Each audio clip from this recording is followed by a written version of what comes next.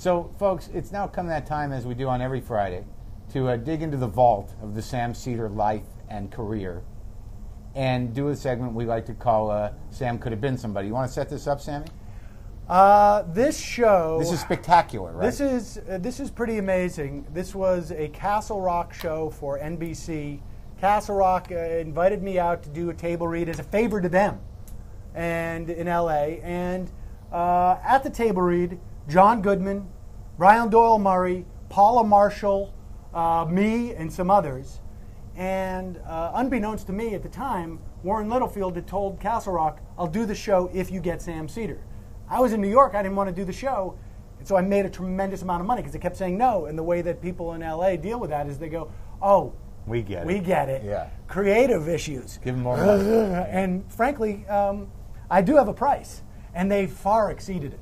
Um, but uh, fortunately, I didn't get back in time and it just kept going up.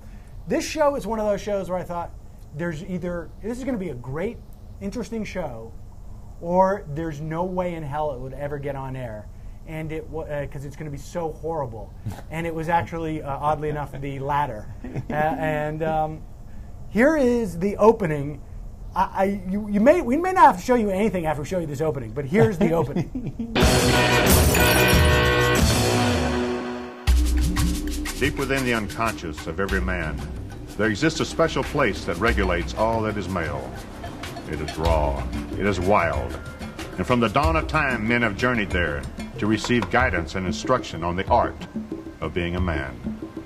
Psychiatrists call this place the male psyche. Women call it the void between a man's ears. But I know it's.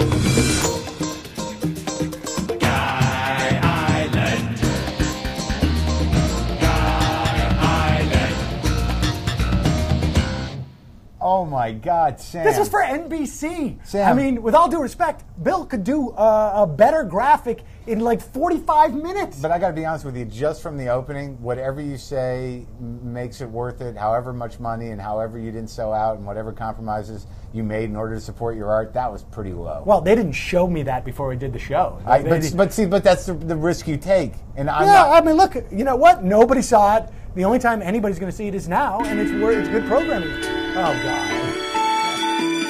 Scattered pictures All right, now wait a second. That's highly inappropriate. That's highly inappropriate. no, it's terrific. But okay, Go ahead. now, now understand what you're about to see. Now, Jack Palance was supposed to be the guy in Guy Island who was supposed to read that uh, voiceover. It turned out to be Joe Don Baker, and the, in the very definition of mailing it in. Uh, but even the director, like, there's no way to tell. Like, what happens is you'll see when I have a quandary, I go to Guy Island. Uh, now, Now, Guy Island is like the id of the guy. yeah, Okay. yeah. Now, okay, listen, Right. This is like Herman's head, right? right. Herman's head. That was, was that was it taken off of that? Was that popular at the time? Yeah, I, I think so. But look, I want to warn you if you're at work, this next clip is arguably work safe. In fact, it may not be safe for anyone to see what you're about to see. Uh, and it's certainly something that I probably will regret uh, putting online. But um, here is uh, one of the first scenes of Guy Island. Tracy, have you seen my underwear? All my boxes are gone. They're vanished. Oh, I'm sorry. Didn't I tell you? I threw them away. You threw them away? Yeah, uh, all of them? E- e- even the ones with the little NFL helmets? Come on, Doug. They were also threadbare and baggy. Every time he got into bed, I felt like I was sleeping with Gandhi. But I love my little helmets.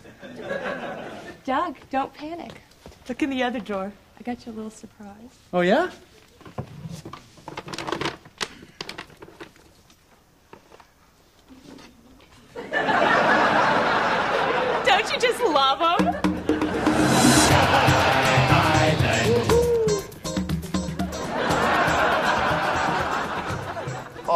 Come on. You gotta be kidding. It's him, the grand guy. Got a pair of those in pink, sweetheart? I can't wear these. Oh my God, Sam, Sam. I, I don't know what to. I don't know what to say. I, I don't know what to say either, folks. Um, How many how many takes did they have to do when you stand in those ridiculous underwear? well, the worst part about it is that I was heavily medicated at the time. I mean, severely medicated. What? Um, why? Because in this next scene, it's this scene, right, Bill? You will see Warren Littlefield came down, and I, of- he was the CEO of NBC at the time. Yeah, he was the head of like NBC Entertainment, and you know, he well, we actually got somewhat friendly because I had extraordinary access to the casting process of Uh-huh. this because of the the whole way this went down. because he kept denying them. yeah, basically. Yeah. And so he called me over one day and he goes, uh, "Sam, listen." Watching what you do with physical comedy, I want to put a little more in here because you're great with it. And I was like, uh, okay, whatever. And so they had me doing all sorts of different stuff, but didn't bring down a stunt person to save money. Now, the, the scene shows me doing a flip that's not terribly, uh, or, or, you know, uh, sophisticated, but when I had done that in rehearsal or a pre-tape, at one point I missed where I was supposed to land, and I landed on my shoulder, and you can actually see it today. I have a second degree separation in my shoulder. Still. Still. So you paid the price for Guy Island. And it was incredibly painful. Your artistic compromise has crippled you. And. I was on, I don't know what it was, Vicodin or Percocet throughout this entire process. So I was like heavily sedated when we were doing the show. Uh, but here is that scene now. Monday's boxers, Tuesday's boxers. We are looking at a new starting lineup. All right, boys, sorry. It's time for the night shift.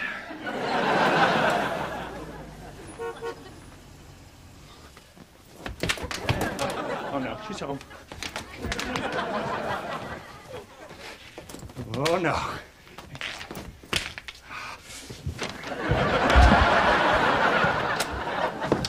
Doug, I'm home. Be right down, honey. Uh, n- no need to come up. Oh, great. Now I look like Tarzan wearing depends. Doug,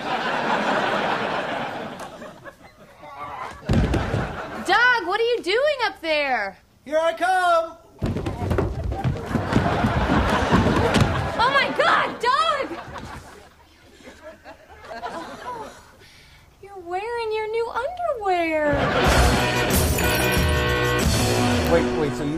Were high when you tumbled down the stairs? Well, I didn't, I didn't do the stairs. That was a, that was a stunt guy. But the stuff upstairs, Flipping I- on was- the bed? Yeah, it was far more sophisticated until I almost. Uh, Couldn't you have was sued? Yes, that's the worst part about it. Is like my manager was an executive producer of the show because that's what your manager does Yeah. when you're getting offered everything. And it was amazing to watch how all these people just sort of drifted away at that point. Like every- nobody said a word. Like nobody, like my manager. 'Cause you were like, nobody- "Ah, fuck." No, no, I'm saying like throughout the whole process. Like I'm like my shoulder is out of whack. I, it screwed me up for months.